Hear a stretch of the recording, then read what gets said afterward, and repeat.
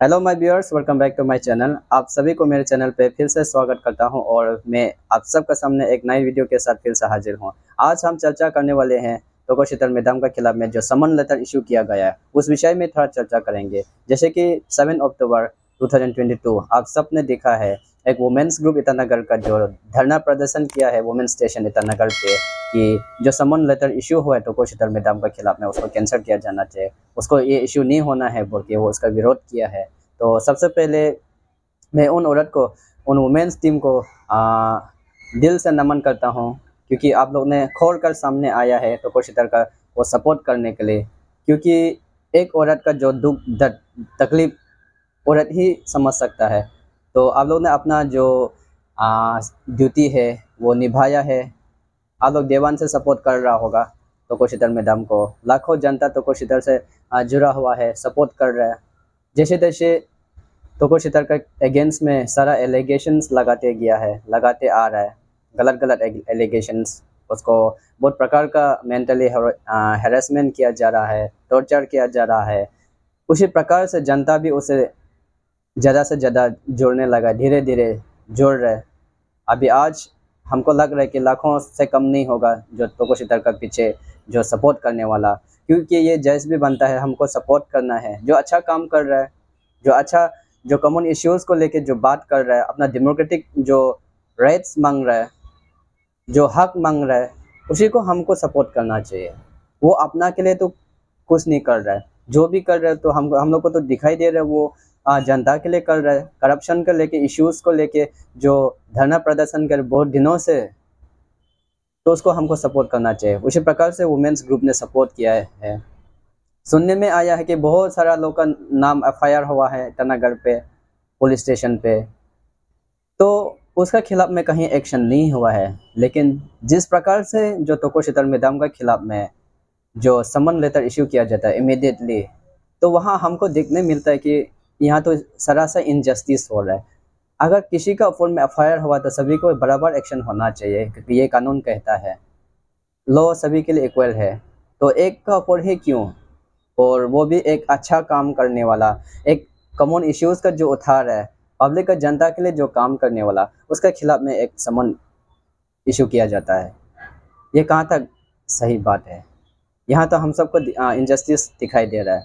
शायद पुलिस किसी का प्रेशर में काम किया किसी का दबाव में काम किया होगा ये हम मानते हैं।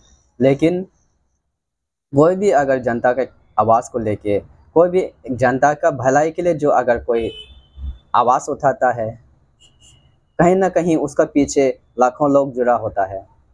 कहीं ना कहीं आ, उसमें जनता का प्यार से जुड़ा हुआ होता है। तो हम किसी को अंडरस्टिमेट नहीं कर सकता है। भले तो को शीतल मैडम आज वो सिंगल हो सकता है, एक वुमेन है वो, लेकिन एक वुमेन का ऊपर जैसे कि क्रिमिनल जैसे इस टाइप का उसको बिहेव ट्रीट करना बिहेव करना, ये सही नहीं लग रहा है। आज Arunachal against corruption team Delhi Jantar Mantar पे धरना प्रदर्शन कर रहा है। बहुत दिन हो गया, उनका मांग को पूरा नहीं किया जा रहा है। सरकार, जो केंद्र सरकार की तरफ़ से भी तो हम उम्मीद है उनके जो भी मांग चतर डिमांड्स को जो सेंट्रल गवर्नमेंट है, उसको जल्द से जल्द सुने। उनका जो दुख, दर्द, जो अरुणाचल का जो जनता का जो तकलीफ़ है, उनको एक बार सुन ले। तो जिस प्रकार से बहुत दिनों से हम सब जनता देख रहे हैं, क्योंकि हम सब अरुणाचल अगेंस्ट करप्शन टीम को डे वन से फॉलो कर रहा है।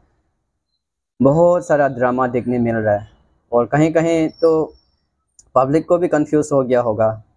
आखिर ये क्या चल रहा है वो के बहुत सारा उनका आवाज़ को दबाने के लिए कोशिश किया जा रहा है। उनका जो मिशन है, उसको किसी प्रकार से फिर कराने के लिए किया जा रहा है। लेकिन अभी तो लगता है उनका मिशन बहुत करीब पहुँच चुका है। एक दिन ना एक दिन जो भी उनका जो डिमांड्स है, जो जनता का जो भलाई के लिए जो चार डिमांड्स बनाया है, उसको पूरा हो जाए। और उम्मीद है एसी टीम हमेशा अच्छा काम करेगा। आज हम सब का जो जनता का आवाज़ पे आप लोग खड़ा है एसी टीम, उसी प्रकार से अपने आवाज़ को बुलंद रखना है। कहीं भी मिसअंडरस्टैंडिंग नहीं होना है, आप लोग का अंदर में पॉलिटिकल इंटरफ्रेंस नहीं होना है, आप अपना जो एसी टीम टीम का जो आपका मिशन है, उसको पूरा करना है।